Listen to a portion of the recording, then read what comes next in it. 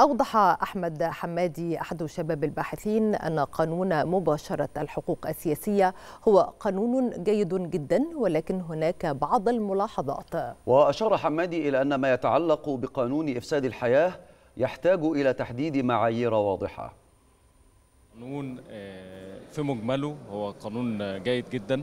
ولكن في هناك بعض الملاحظات هنسميها الملاحظات الخاصة أو صغيرة اللي تتعلق بالقانون على سبيل المثال للحصر قانون إفساد الحياة السياسية.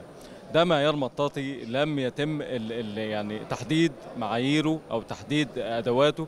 إيه من يطبق عليه إن هو أفسد الحياة السياسية في مصر؟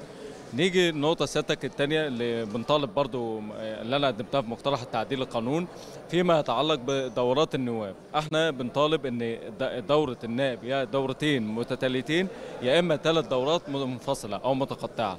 لكن ما ينفعش إن النائب يكون منذ أن يتولى منصب نائب في عضو مجلس النواب أو مجلس الشيوخ وهو لحد ما يموت يفضل نائب في مجلس النواب.